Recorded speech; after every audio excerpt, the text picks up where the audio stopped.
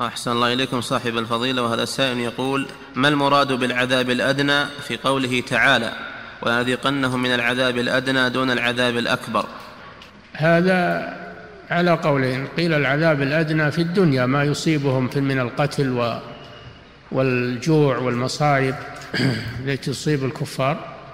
وقيل المراد العذاب الأدنى عذاب القبر. فلنذيقنهم من العذاب الأدنى دون العذاب الأكبر. وعلى هذا التفسير تكون هذه الآية من أدلة عذاب القبر. كذلك قوله تعالى وإن للذين ظلموا عذابا دون ذلك ولكن أكثرهم لا يعلمون قالوا هذه في عذاب القبر. نعم. أحسن الله إليكم وفي صح. قوله تعالى في آل فرعون النار يعرضون عليها غدوا وعشيا ويوم تقوم الساعة أدخلوا آل فرعون أشد العذاب. يعرضون عليها غدوا وعشيا هذا في الدنيا يعني هذا عذاب القبر. يعرضون عليها في الصباح والمساء وهم في قبورهم. نعم.